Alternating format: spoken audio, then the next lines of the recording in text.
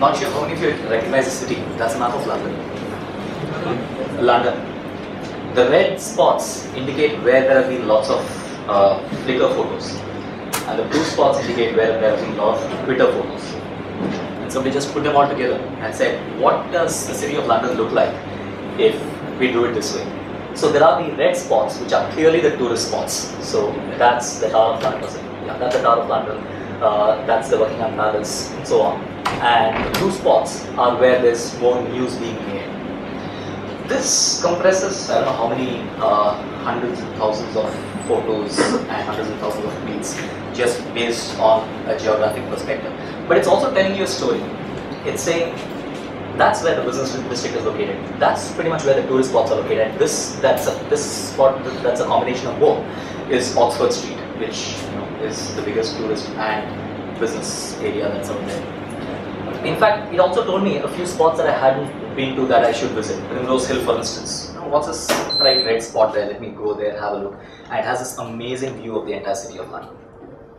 Now, what I'm going to be talking about is stuff like this. How you can take data from crazy places, put them together in a way that you would not have normally thought about, and try and get something new. Data visualization is really about telling stories with pictures.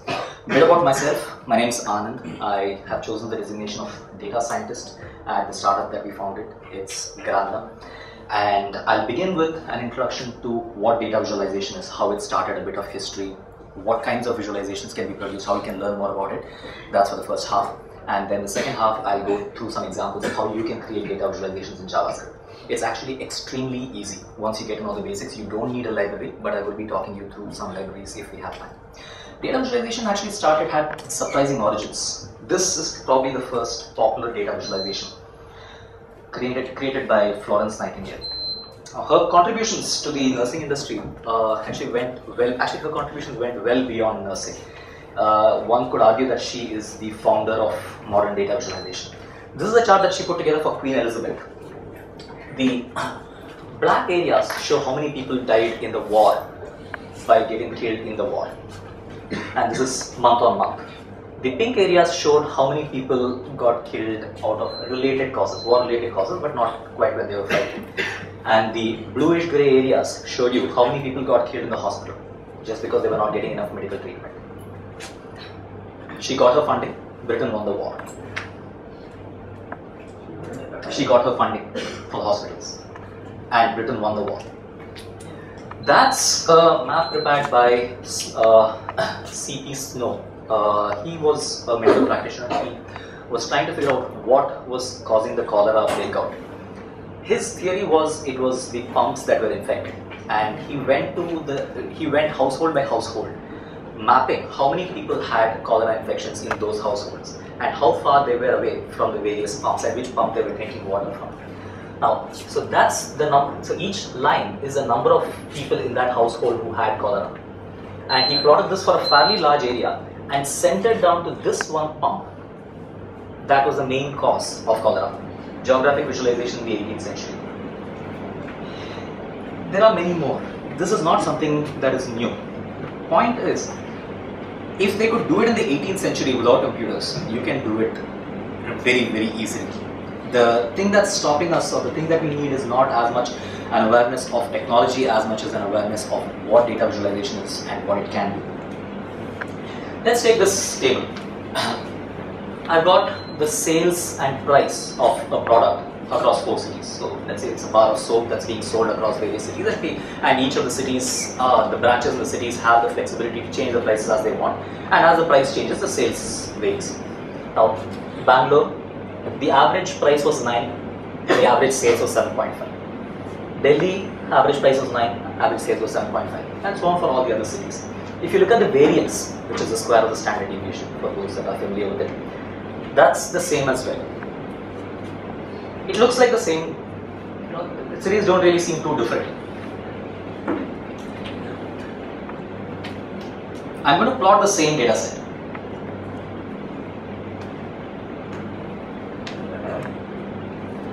Delhi, the sales rises with price and then falls after a point. Bangalore, sort of increases, but it's not a very strong correlation. Hyderabad, you would argue that it's almost a perfect correlation except for one, what looks like an aberration. And Bombay, they never even change the price, barring one point, and you'd argue that that's not enough data to conclude anything. Descriptive statistics can be very misleading. If there's, you know, there are a few points that you might want to take away from this session, and if there was one really strong point, I would simply say, don't bother with averages. Whatever the data, just plot it. There is far more that you can take out of a plot, no matter how bad a plot but particularly something that shows every single point rather than summarize it into a smaller data uh, into a smaller data set. Just plot the full data set, see what you see, and invariably that will lead to better insight than anything else. Now, some of the work that we're doing involves pattern detection. Uh, so we, an energy utility approached us and said, look, we know we have a lot of fraud happening in our meter readings uh, we've been pushing for automated for automated meter readings, but uh, there's a lot of resistance from the union, and we need some kind of proof. And we're going to be showing that the unions so don't expect any sophisticated statistics to sink through. Uh, you're going to have to keep it as simple as possible, and we'd also like you to find that evidence. So we took the data, it's fairly large, 180 gigabytes, uh, which had the meter reading for every single person for about 12 months in that state. We said, let's do the simplest thing possible. Let's plot a histogram. Now, that's the histogram of the meter reading for every single person in the state. The number of people that have a meter reading of 0, 1, 2, 3, 4, 5, so on. And you see some spikes. That's a perfectly long, smooth, long normal curve except for those spikes. Those spikes primarily happen at 50 units, 100 units, 200 units and 300 units. Which is exactly the number, the, the meter reading that people need to have to stay within the slab boundary. If you have one unit more than 100, then you get into the next slab and therefore pay at a higher rate.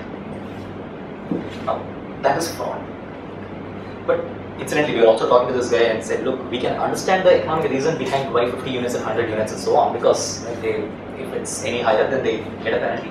But what are the spikes at 10, 20, 30, 40? They said, uh, okay, he said, take a guess. We had no idea. And he said, this, this proves something that we've for a long time had a suspicion about this is not fraud, this is just laziness. The guy never went there. He's just putting a round number for the meter reading. It gives us an even stronger case to push the automated meter reading. Tell him, look, you aren't even taking the meter readings, what's your problem? Then we looked at, for instance, is this correlated? So, for instance, is the same set of people that are having the meter, uh, uh, you know, that have the meter readings of 100 and so on. So, for instance, there was this lady whose meter readings were 200, 200, 200, 200, 200. I mean, that's really hitting your energy meter to the right level, either that or fraud. Uh, incidentally, when he went through the list of names, he said there's unfortunately not much that we can do about the names on this list. They happen to be somewhat influential people, but it's good to know where this is coming from. and also, we looked at it from uh, in, in different regions. So uh, we took one city and within that city broke it down into sections and tried to see this excess of fraud that you see. So let's say this is about 40% higher. Does it vary from place to place? So in section 1 is it how, how much is it section 2 and so on. So section 1 this excess was about 70 percent. So treat that as roughly 70 percent fraud 97 percent 136 percent so whereas some sections have relatively lower levels of fraud 9 percent 15 percent 30 percent and so on. So you also know where the problem is focused. But also there was one anomaly section 5 that's a bit of a dip. Uh, all of a sudden the degree of fraud drops then stays a bit low and then spikes up after a point so it's good sends the peon over, pulls up a register, looks through it and says, ah, Somasundaram got transferred in in June and got transferred out in September. now I know what to do with a pile of complaints against him. Stuff like that. Uh, or another case. Sorry? Yeah. So the second chart was prepared from the first one or we had a huge data set which said this is a customer. In this month they had this meter reading and we also know from for each customer where they live in which section they live. So the second chart is the fraud percentage? The second fraud is the excess the uh, height of this chunk divided by the height of this chunk. Okay thank you. Now if you notice this does not involve any sophisticated graphics. You can do this in excel in fact, we did do a version of it in Excel also because those guys then wanted to replicate it. So part of data visualization is not about the sophistication of the graphics, it's really about the sophistication of your imagination, or not even sophistication, it's about the simplicity of your imagination. We will be covering how to do some of this in JavaScript, but just keep this in mind as well, that you don't really need sophisticated graphics. Another one, this is again, uh, uh, this was with uh, a financial services provider, where they said we want to understand some patterns in securities, be it currencies, be it commodities, be it stock indices. They put this piece together. Now, that's a set of currencies, commodities, stock indices. And what each cell shows is a correlation between a pair. So for instance, 68% is a correlation between the Australian dollar and the euro. And that's colored slightly green because that's slightly positive. And wherever you see red values, those are negative numbers. What you also have here is a scatter plot. So on any given day, and this was over a period of six months, on any given day, what was the Australian dollar price, what was the euro price. And you can see that in general it moves up. Now, why is this important? Because, well, you saw the earlier slide where you saw some patterns are not always obvious from the number. Now, we've seen cases where, for instance, uh, specifically, uh, gold versus Swiss franc. Uh, gold versus Swiss franc has this movement where initially it goes up and then it goes down. So the correlation ends up being close to zero. But then uh, with gold versus some other currency, I forget which one, was completely all over the map. That also had a correlation of zero. So a correlation of zero can happen from two, two you know, for two completely different reasons. There was a period when it was strongly positively correlated and then strongly negatively correlated. Okay, and then another is where it was just completely neutrally correlated. You've got to see some of this to understand the real pattern. So we plotted that and found that there are you know, there are blocks of correlated currencies. The Singapore dollar, Japanese yen, gold, Swiss franc, and Chinese yuan. They tend to move close together, very closely with each other. And this is another block: the uh, S&P, the FTSE, the BSE Sensex, and for some reason the Pakistani rupee tend to move fairly close to each other. And also, when one block moves up, the other block moves down. So when any of these currencies go up, these indices and this currency go, goes down. You can sort of see that, and what that therefore means is if you're holding a lot of gold, what's your best hedge against gold? If gold goes up, what goes down? Your best bet is probably holding the FTSE hold an uh, uh, aggregate of the British stock index, that's your best bet. If you hold a lot of Indian rupees and want to hedge against that, not much that you can hedge. Your best bet is probably the Japanese yen, which is going to drop by around 27% if the Indian rupee rises, but more importantly, the Indian rupee drops, it'll rise up a bit. But there isn't as strong a hedge against the Indian rupee, at least in the in the prevailing conditions. Stuff like this, I'm not going to go on more into the details. I want to give you an idea of just two things. A, data visualization is old and fairly simple, does not require much by way of technology. And that B, the things that you can do with it do not require uh, much by way of tools. You can do them on Excel either. But let's dive in into, before I dive into the demo, just want to mention in case you are looking for further reading, look for any book by Edward Tufte, T U F T E is the be all and end all of data visualization. And any of his books would just read them. They are, they are really to read. And these are relatively old books meaning you know, uh, 80s one of them was in 70s and don't talk anywhere near about anything about the technology. They tell you what kinds of visualizations one can produce. But now let's dive in into a demo of the simple data visualization. Uh, I pulled out from an ISP uh, data about when people rise. So what I got was in each city, that's the third column. So in each city, at what hour of the day and at what day of the week do people browse and roughly how many of them were there. Now let's try and see if we can create a visualization out of that. We'll keep it simple. Uh, what I'm going to do is create a visualization that has the seven days of the week and the 24 hours in a day split up as a grid. And depending on the number of people in the cell, I'm going to vary the intensity of the cell. Any guesses on how you would do this? Heat map. Yeah, this is a heat map, incidentally. Yes. Any guesses on how you would do it using HTML and JavaScript?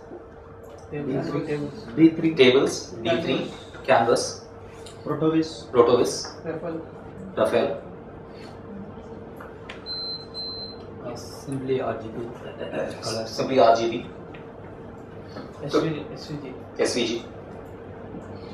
So, two of those answers were technologies, two of those answers were techniques and three of them were libraries. Let me walk through those. So we have SVG, which is a way of drawing on the screen. We have Canvas, which is another way of drawing on the screen. We have Protovis, we have Raphael, we have D3, which are libraries. And we have tables and we have RGB, which are techniques that we would use to plot on it. We'll start with the simplest. Uh, I'm not even going to go as far as tables. What I'm going to do is make each one of these a div element. It'll have a width of 50 pixels, it'll have a height of 50 pixels. The position will be depending on the hour and then depending on the day of the week, it will be positioned at some location. And the position is very easy to calculate. It is simply r times 50 and weekday times 50. That is the x and y coordinate. Width is 50 50. The color we will have to work out. Now let us assume that the maximum range for this is 2 million visitors uh, in that hour. So we say 2 million visitors will represent bright blue and uh, 0 is white or some color range like that. Let's walk through the code that this. Now, uh, first thing I've done here is copied and pasted this text. Okay, so I just filtered Chennai, and for Chennai, copied this entire chunk. Let me do it in front.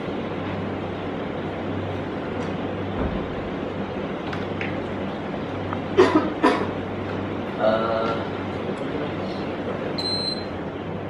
ignore this. I don't know why this is here. Okay. So I just pasted this. Now, I'm going to comment out everything that I've got here. In fact, I'm delete it. Let's see what this looks like on the browser. No, that's not what it looks like on the browser. I'm going to reload it. So. Sorry, I'm changing the wrong one.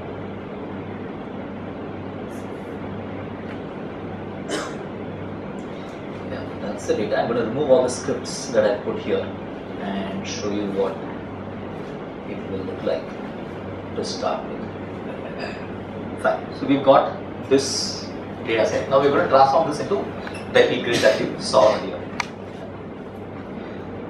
Let's walk through the steps for doing that. Now I've included two libraries. One is jQuery, mostly because I can't live without jQuery, but you don't really need jQuery for this. Uh, the other is a very simple library called color. What I do is transform a number into a color. And I'll walk you through that library. It's just code, 20, 30 lines of code. It's very basic. Think of it as given a number from 0 to 1, it will convert it into RGB from any state to any state. You could just as well have replace it with RGB of 255 times value, comma 0, comma 0. Now, what we're going to do, what we do is take the pre, which is where we've got all of the data in, and we convert it we convert the text into an array of arrays. So this data variable is an array that contains the lines split based on the new line and what we do is split it based on spaces and return an array. So the first array, so uh, let me show you what data looks like and that will be easier. Uh, let me connect the rest of it. Okay, now let's see what data looks like. Uh,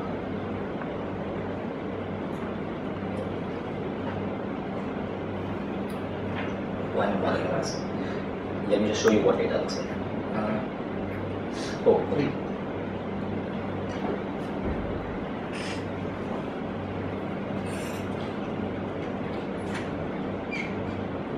So it's an array of arrays and each cell in the array, the outer array, contains the numbers or the columns that we've got. So first one was 0, which is the day of the week, the second is the hour of the week, the third is the city, and the fourth is the value that we have, and so on. So now that we've got the data extracted, and incidentally, the way I'm doing it is possibly the worst way of doing it. You will typically source data as either a CSV file or a JSON file. If it's JSON, you don't have to do anything. If it's a CSV file, there are enough CSV to JSON passes. Please do not write code to do any of these transformations. That's important enough to say again. Please do not write code to do any of this transformation. In fact, in general, please do not write code. Code is a liability. What you want is a functionality. Someone's written it already, why bother? End of rant. Uh, then, now what we're going to do is draw a box. Now first I create uh,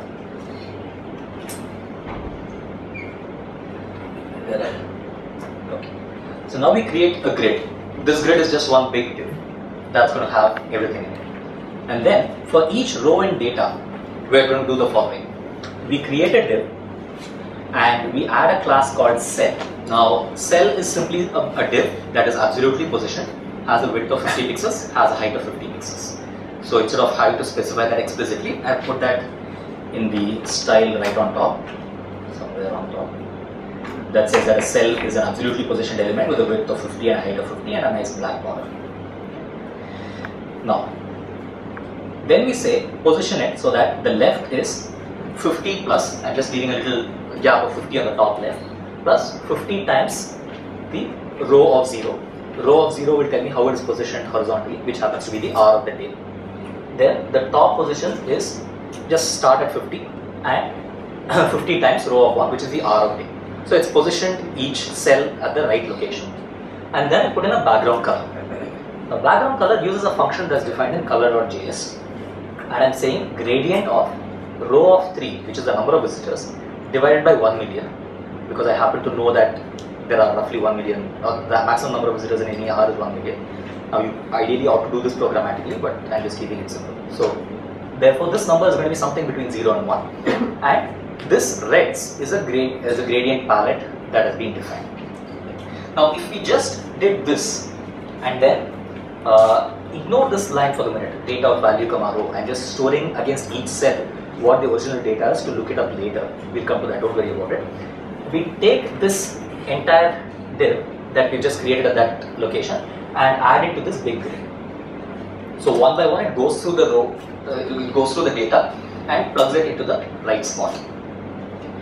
Now with that we have this visualization. Sorry, uh, ignore this little thing that pops up. I'm going to show you how we did that. But that's what we have. Now let's spend half a minute looking at what it's telling us. Firstly, it's telling us that people start, well, this is 1 o'clock, 2 o'clock per se, 12 o'clock, 1 o'clock, 2 o'clock and so on, 3, 4, 5, 6 is when a few people wake up, 7 is when more people wake up, 8 is when they really start browsing and so on, so on, so on. It goes on almost till 10 in the night, at around 11 in the night is when the traffic starts dropping.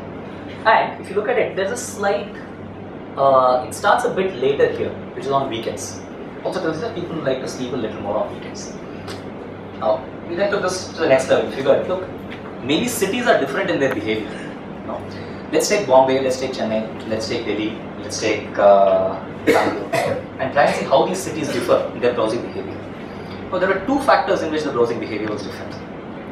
How early they wake up and whether they work on weekends. And it almost falls into a clean 2 by 2 pattern. Bangalore and Chennai wake up early. Bombay and Delhi wake up late. Bangalore and Bombay work on weekends. Chennai and Delhi don't. I leave you to draw the inferences, not you know, uh, commenting anything on it. But the way that was done was simply by taking not the absolute value of visitors per city, but taking the difference in the percentage of visitors and then plotting that as a heap. Okay, that's available on uh, blog.gramener.com. I'll point you to the reference towards the end. Now we have added one little uh, twist to this, which is as you hover over these cells, it will tell you. So, for instance, about 500,000 visitors came in at Tuesday at 10 a.m., which lets you play around with the metrics, see what's happening, and so on. Way to do that is really straightforward. I'm not going to go through the actually walk through the code here, but you know, you just uh, anytime you hover over a cell, you find out the position of the cell and then move it a little bit so that you don't block the mouse and display and set the text for this hover element and position it there and show it. That is pretty much it. So about uh, 50 lines of JavaScript and that's an example. We have not used SVG, we have not used canvas, we have just used divs. We have barely used jQuery, we didn't need to use jQuery. The only thing that we've used is this gradient function which I'll quickly walk you through and you'll, sorry, you'll find that it's fairly basic. There's one helper function that converts numbers like FFFFFF to 255, 255, 255 and we have a gradient function that does the following. So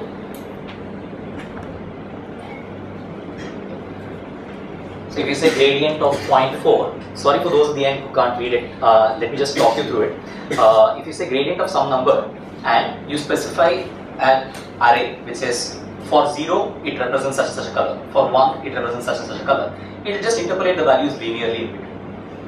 There are far more sophisticated ways of doing it. There are good color models that one can use, but doesn't matter. You can, with visualization, you have a lot of leeway. You can afford to get it wrong in many, many ways, and it will still be alright. You can also try very hard to get it right and still fail. Both are there. So that uh, brings me to the last segment of my talk, which will take a couple of minutes, in which I'll show you a few things uh, that we've done. Uh, except that I'm not connected.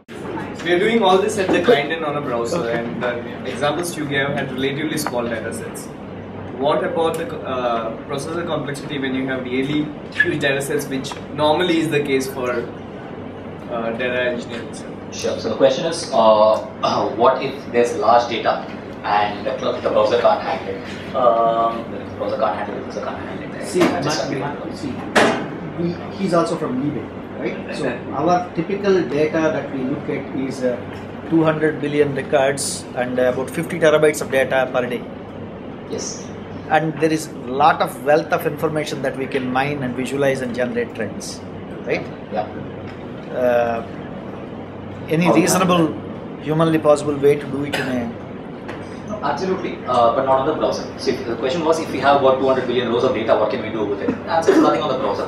Uh, a 10 second plug here. So the company that I'm with, uh, what we do is handle on the server side massively large data sets. The technology there is custom built server that we've got that produces output in the form of HTML or JavaScript. Now this is an example, for instance. Uh, this is a network of uh, GitHubers in Chennai. So literally, it's a somewhat larger data set, and I'll show you some other large data sets. But the way it works is, uh, anyone who's following anyone else on GitHub, they're one connected component. Now, that's the network in Chennai. I have decided to settle in Bangalore. I am not exaggerating, but truly for this reason.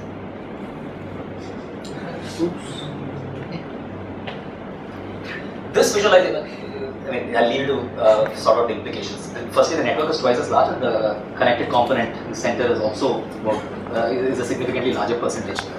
Uh, but the thing is, this sort of thing, which involves a reasonably large amount of data, can be handled on the browser. I have uh, up to a million rows. I don't even think twice about on the browser.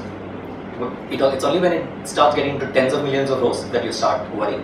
At that point, it needs to be done on the server side. But to be fair, you have two bottlenecks. It is not the processor capacity often that constrains you. It is often the bandwidth. If you have to transfer a million rows, it's going to take a long time. You don't want to do it. You want to summarize it. And if you're summarizing it, then there are a couple of ways of doing it. One is, so let us say you want to create a graph like the one that I uh, showed uh, here.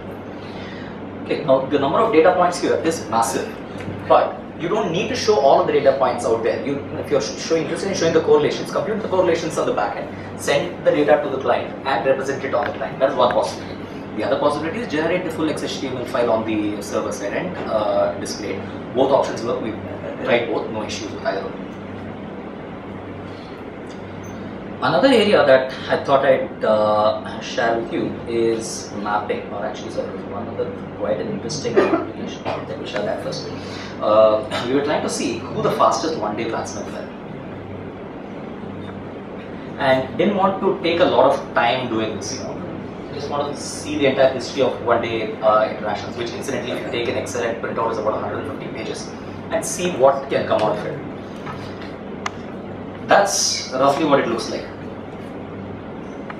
The size of each of the boxes represents the number of runs that player scored. The color indicates how fast they scored. So, can you tell me who would have who's the fastest? Afridi. And how long did that take? And who scored the most runs? you don't really need this to say that. But also, you can zoom in a little more. So Afridi's been doing great, yeah. But let's look at his individual matches.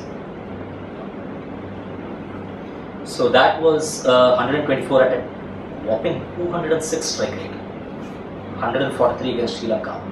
It provides you that drill down capability as well, and clicking clicking on it will take you. Oops, clicking on it will take you to the match that he was played, and you can see the statistics and so on. Like I said, about 150 pages worth of information that can be compressed into one shot.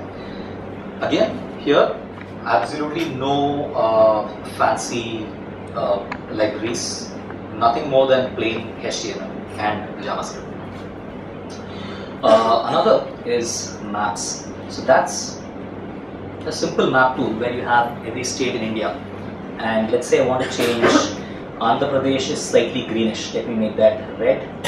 And Assam is somewhere in that range as well. Let me make that red as well. So I can just put in numbers or copy and paste this into Excel, copy and paste it back, and you've got the data plotted on a map. And it's not restricted to the state map. You can have the district map or you know, let's go to the districts within a particular state. and so on. Now, what's happening here? Nothing more than one SVG file, which you can control through JavaScript. On change, or on key up, whatever you want, find the item, change it.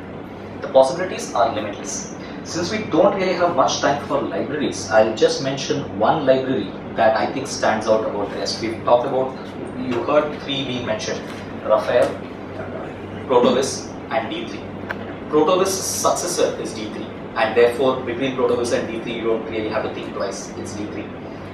And between uh, Raphael and uh, D3 also you don't really have to think twice, it is D3. There is today one library that is clearly going to win the race for uh, JavaScript at least for the next one year without doubt.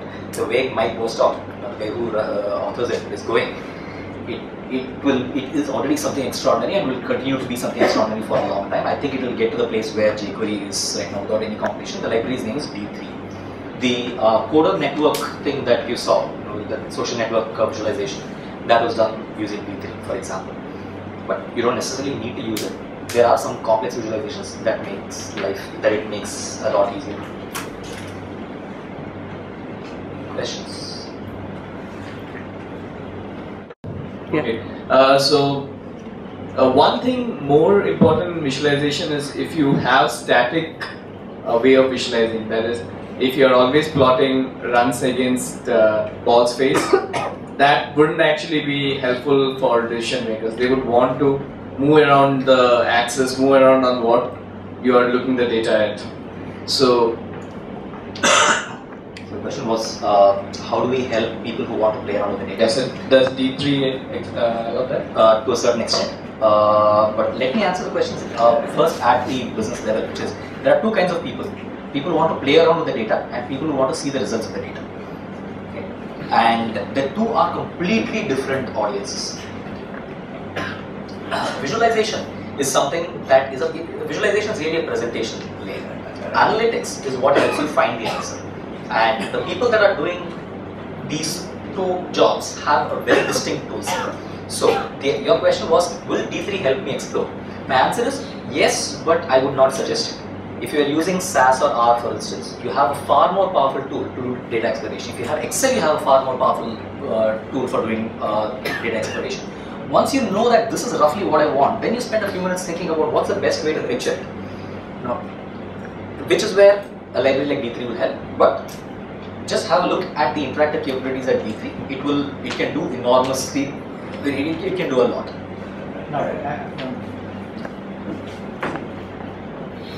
uh, Protovis, uh, the predecessor to the D3, as well as which is interactive visualization. Uh, both of them are offshoots of uh, Stanford University experiments, computer science experiments.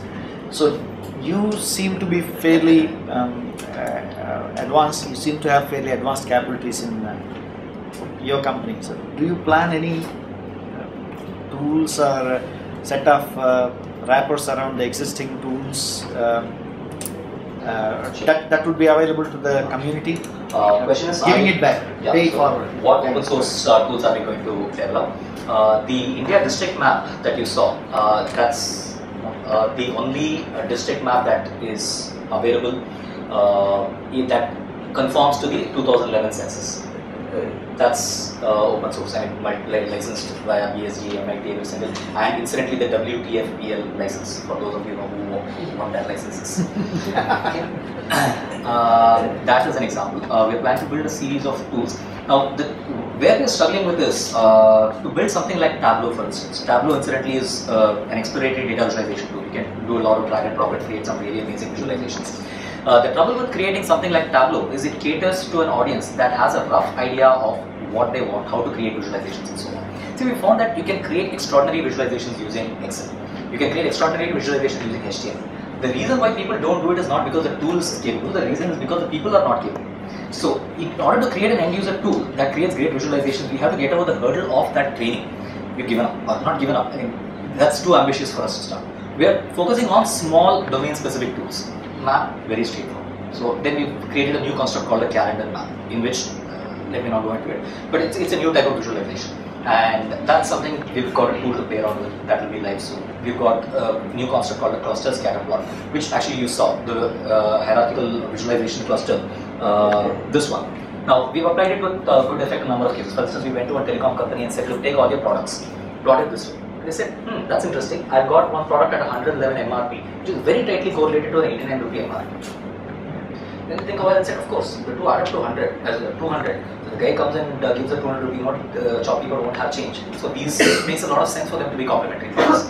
So which means that if you push the, if you do any marketing on the 111 rupee MRP product, it will automatically increase the sales of your 89 rupee MRP product. But at the same time, it is uh, conflicting with uh, your uh, 222 rupee MRP product because roughly similar price point, roughly similar proposition. So they could see if you have, if you could do any marketing on either of these two products, it's going to kill your slightly larger product, larger both from a price point perspective as well as from a volume of sales perspective. So, and so that was one example. Another example, we took this and analyzed competition. How much of your traffic is going to competitor A versus competitor B and so on. So if your traffic with competitor A rises, does traffic with competitor B rise and so on. And you can almost see that the world of mobile telecom is grouped into three types of uh, segments. One, CDMA operators. Two, GSM operators. And there is one company which I will not name, which is a bit of a young company, which is completely distinct from all of these. I mean, this tool really helps you group together various kinds of uh, anything. Here we're grouping securities, you can group products, you can group companies, whatever. So this is another tool that we're trying to get out as an open source uh, tool. So we're doing a bit of it, but the thing is, our aim is not to create a general purpose data visualization tool that anyone can use. It is to bring more of uh, more components uh, into the open. So you had a question? Uh, this would have to be the last question for running short of time. Okay, when it, when it comes to performance, which fares better, SVG or Canvas? Um, Canvas, but uh, there are two reasons why you wouldn't want to go for Canvas, which is simply uh, the primary one being A, if you try taking a printout, the resolution will fail you, and if you try zooming in, the resolution will fail you. So, and also actually thirdly, if you want to interact with it, you can't interact with an element in, in Canvas as easily as you can. So I, I hover over an element. I don't have an object to attach an event handler to to see what that is or drill down. For all these reasons, SVG has sort of become the de facto standard uh, in terms of uh, visualization. So with that question, let me just end up with uh, how you can reach me, uh, which is on my site. You can just Google SRN. Uh, going, it's anyway lunchtime. I'm going to be around, and for the rest of the day, feel free to reach me with all my contact information on my website or right now. Thank you very much.